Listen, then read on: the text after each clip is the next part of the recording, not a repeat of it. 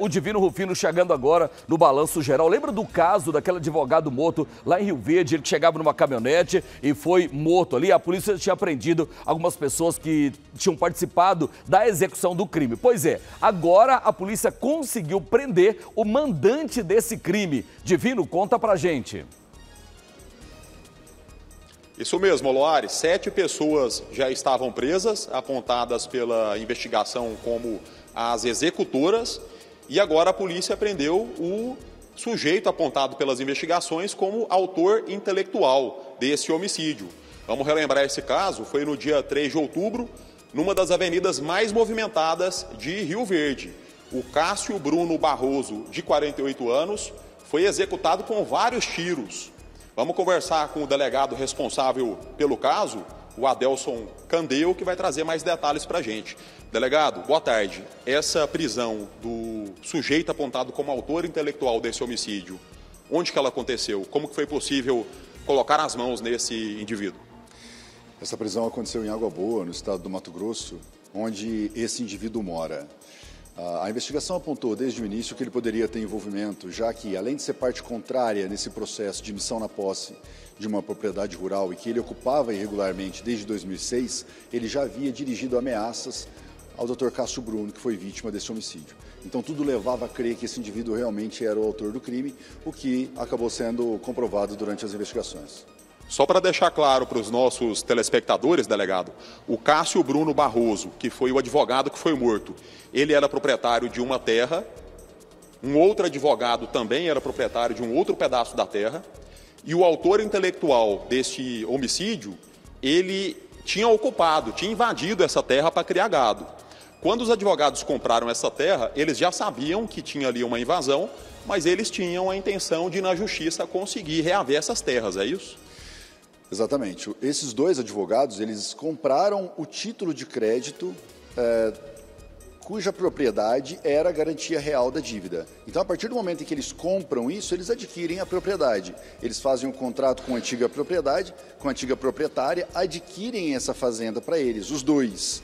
Eles assinam como sócios nesse contrato e na ação de missão na posse, um figura como parte e o outro figura como advogado. Mas os dois investiram. A causa não era de outra pessoa, a causa era deles. Ele advogava é, para o sócio dele na propriedade dessa fazenda. E é óbvio que eles já sabiam que, a, que essa terra estava invadida. A pessoa de quem eles compraram, que é a antiga propriedade, já tinha dado a ciência para eles disso. Eles vão até a fazenda, percebem que a fazenda está invadida. Por isso, ajuizam ação de missão na posse para retirada do invasor de lá, para que eles pudessem entrar na posse da, da fazenda. E aí nisso o Cássio Bruno Barroso começou a receber ameaças de morte. O outro advogado ficou bastante ali eh, preocupado com a situação e passou a andar inclusive de carro blindado. É, o Cássio sente essas, essas ameaças, ele não registra a ocorrência na delegacia porque ele não acredita na possibilidade de algo acontecer com ele em Rio Verde.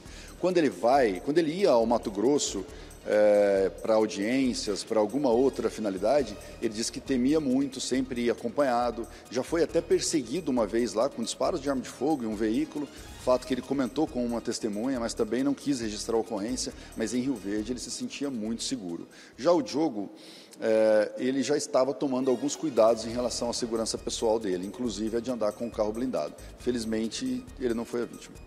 Para a polícia, então, esse sujeito que essa execução o fez porque não queria perder então aquela terra, uma terra que vale muitos milhões, delegado. Não, especialmente agora, porque com a passagem da linha férrea sobre a propriedade e também a instalação do porto seco no interior dessa fazenda, a propriedade, cuja hectare ali que se falava em 20 mil, passou até para um milhão.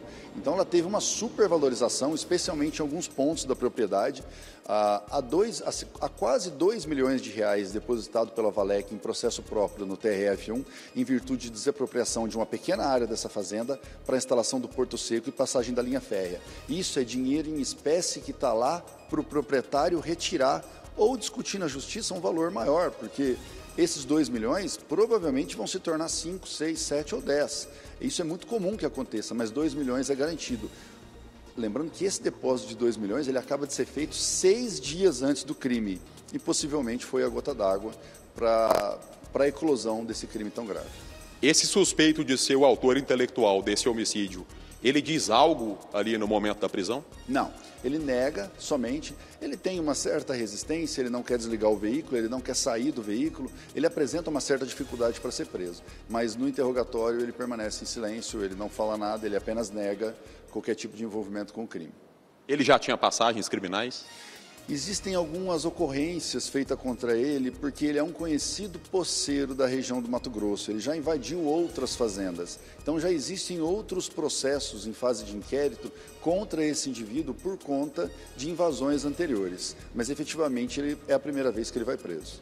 A polícia já considera o caso concluído, encerrado? Seriam então um total de oito pessoas participando desse crime, o autor intelectual e sete pessoas na execução. Como é que foi essa execução no dia 3 de outubro, delegado? É, a, princípio, a pessoa, a polícia já considera encerrado os, quem são os investigados, quem são os responsáveis pelo crime, são os oito. A polícia sabe que não terá mais ninguém a ser preso mas ainda faltam desdobramentos, quebras de sigilos que tem que ser apurada e até os telefones que tem que ser extraído ainda as informações que estão neles até para verificar o que tem de prova contra os acusados. Quanto à execução, a execução acontece numa das principais avenidas da cidade, num horário de movimento, às 13h30 da tarde. É, dois indivíduos param em um carro, onde eles veem a, o escritório da vítima, eles param o carro na frente do escritório da vítima e esperam a vítima sair. A vítima sai, vira as costas para a rua para apanhar alguma coisa no interior do veículo. O passageiro desse veículo Uno desce com uma arma na mão, efetua cinco disparos, entra de novo no carro e eles fogem. A vítima atingida por cinco disparos, inclusive dois deles atingiram a medula e esse indivíduo perde, a, a vítima perde a, a, o movimento das pernas imediatamente e por isso ele chama, pede socorro da secretária e diz ter sido atingido por um choque. Ele sequer percebe que foram disparos de arma de fogo. Ele pede socorro para a secretária e diz: Me ajuda, eu tomei um choque. Provavelmente por conta dos disparos que atingiram a, a medula. Né? É, e segundos depois ele morre ali mesmo no local. Não tem tempo de socorro, não tem tempo de encaminhamento para médico, enfim. Os acusados fogem e os primeiros quatro são presos cerca de 24 horas depois do crime na cidade de Nova Chavantina, no Mato Grosso. Delegado Adelson Candeu, muito obrigado pela entrevista. E eu volto com você aí no estúdio. Poloares. Obrigado, obrigado, Divino. Ou seja, é o crime de pistolagem, né? O crime de pistolagem é, que continua em alta em Goiás. É muito. Seja é, o badecozinho que lá na ponta vai lá matar a manda do traficante, até esses grandes que envolvem grandes quantias em dinheiro e os famosos pistoleiros profissionais, como tem muito aqui no estado de Goiás. Obrigado, Divino.